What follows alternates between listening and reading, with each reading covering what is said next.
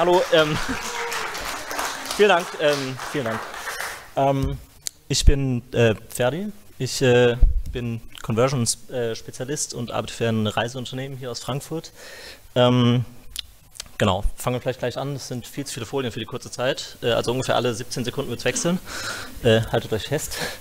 Ähm, kennt jemand dieses Logo vielleicht? Das gehört zur Singer, richtig? Ähm, bekannter ist vielleicht das Spiel, das sie entwickelt haben, das heißt Farmville. Ähm, man kann sich gar nicht so richtig vorstellen, dass ein Spiel, das so lächerlich aussieht, ähm, dem Unternehmen vor einigen Jahren einen Jahresumsatz von 1,2 Milliarden Euro beschert hat, äh, Dollar, Entschuldigung.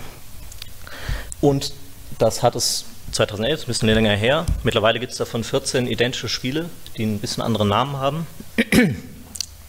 Noch bekannter aktuell ist vielleicht dieses hier, ähm, nennt sich Candy Crush, äh, hat 2016 mit 19 identischen Spielen insgesamt 1,5 Milliarden Umsatz gemacht. Und was diese Unternehmen zur Perfektion beherrschen, ist ähm, psychologische Phänomene für sich auszunutzen und ähm, Nutzer dazu zu bringen, weiterzuspielen, obwohl es eigentlich in ihrer Position keinen Sinn macht. Nenne ich das mal so. Ähm, äh, ich habe so ein paar von diesen Phänomenen äh, mal mitgebracht, die vielleicht ganz interessant sind, die ihr vielleicht auch schon mal kennt und euch vielleicht auch ertappt fühlt, hoffe ich. Ähm, das erste nennt sich Endowed Progress. Das ist eine Theorie der äh, Verhaltensökonomie. Künstlicher Vorsprung erhöht die Bereitschaft der Nutzer weiter zu investieren. Ähm, vielleicht habt ihr sowas schon mal gesehen. Das ist eine Stempelkarte. Die Idee, die ist, ich weiß nicht wie alt, ähm, also diese Stempelkarte konkret habe ich vor einem Monat fotografiert.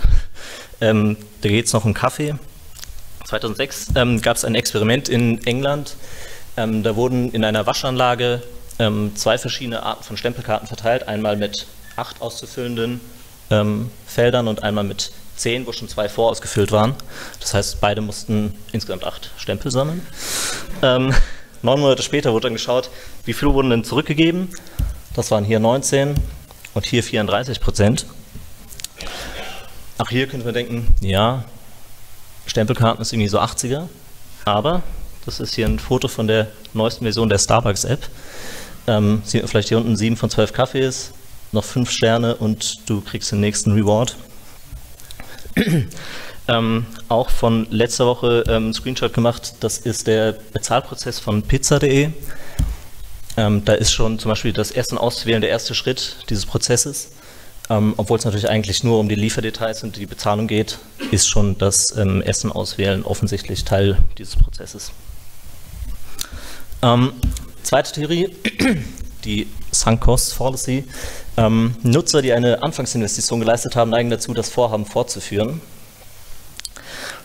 Vielleicht habt ihr den folgenden Satz schon mal selbst gesagt oder schon mal gehört. Lässt sich auch wunderbar auf, weiß nicht, äh, Serien, Essen oder sonst was anwenden. Ähm, ähm, genau, vielleicht ähm, ein Beispiel aus dem Gaming.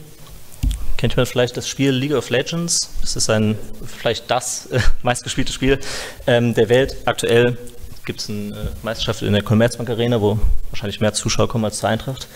Ähm, es sieht in etwa so aus und es geht darum, ähm, ja, sich äh, mit Freunden oder auch nicht Freunden ähm, zu bekriegen.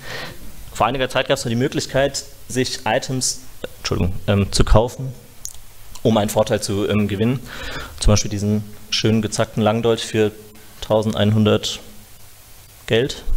Äh, äh, Geld, äh, Spielgeld. Ähm, die eigentliche Frage ist jetzt natürlich, ähm, was passiert, wenn man einen besseren Deutsch findet in dem Spiel? Ähm, man hat jetzt gerade Geld dafür ausgegeben.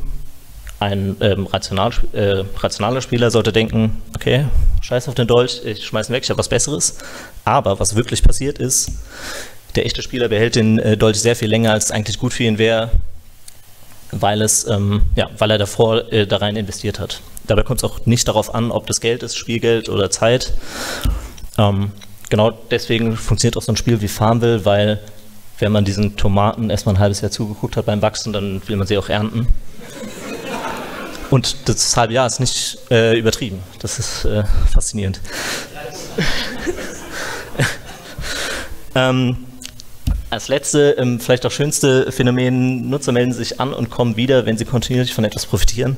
Appointment Dynamic, das sind übrigens alles tatsächliche Theorien von Wissenschaftlern, habe ich mir nicht ausgedacht. Ähm, kennt vielleicht jemand diesen jungen Mann? Nein. ähm, ähm, Gabe Newell, ähm, es gibt ein relativ bekanntes Zitat von ihm, das oh, äh, lautete Piracy is a service problem. Und damit hat er ähm, vor ungefähr 15 Jahren so das Problem der Spieleindustrie zusammengefasst, ähm, das damals mit den ganzen Raubkopien einherging. Ähm, Gabe Newell ist der, ähm, ich weiß nicht ob immer noch, aber war zumindest mal der ähm, Chef von Valve, ähm, die ein System namens Steam entwickelt haben, um ein Serviceproblem zu lösen, das viele Nutzer hatten, nämlich wenn ein neues Spiel rauskam, muss man zum Mediamarkt rennen, dann wieder nach Hause um es dann zu spielen. Heute, wenn ein Spiel rauskommt, ist es natürlich längst schon runtergeladen und installiert und du kannst direkt loslegen, wenn es um 0 Uhr losgeht. Gerade haben wir auch schon was von Spotify gehört, die haben im Grunde das gleiche Prinzip, ähm, Netflix auch oder Battlenet. Und wenn's, wenn man mal keinen direkten Zugriff auf dieses Phänomen hat, kauft man sich das ein, wie zum Beispiel hier die ähm, Payback-Variante. Ähm, genau. Ist sehr teuer, aber lohnt sich offenbar auch.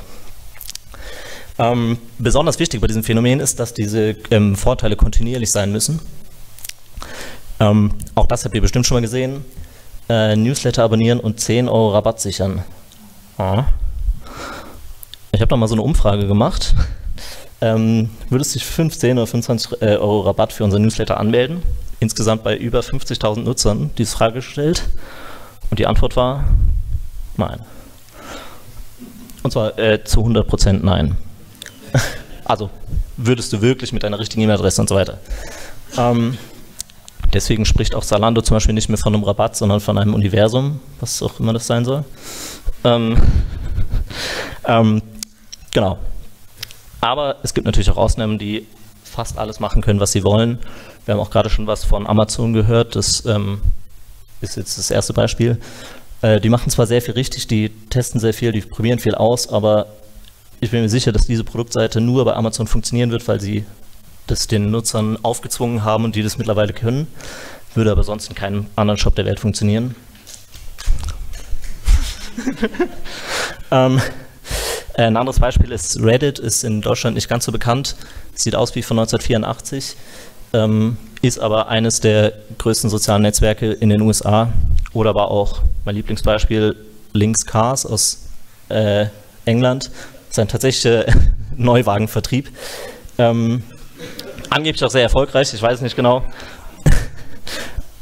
Und ähm, zu guter Letzt fahren wir, ihr kennt bestimmt, wenn ihr morgens in der U-Bahn fahrt, anzugtragende Leute Mitte 50, die dieses Spiel spielen.